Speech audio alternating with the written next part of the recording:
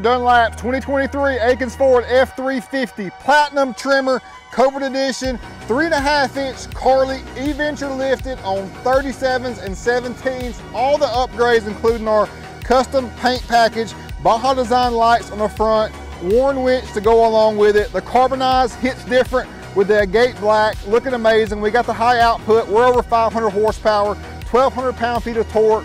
We got the airbags from Airlift. We got the Deaver leaf pack to go along with it. Banks exhaust. Look at this applique on the back. Such a impressive and complete Super Duty. Let's go.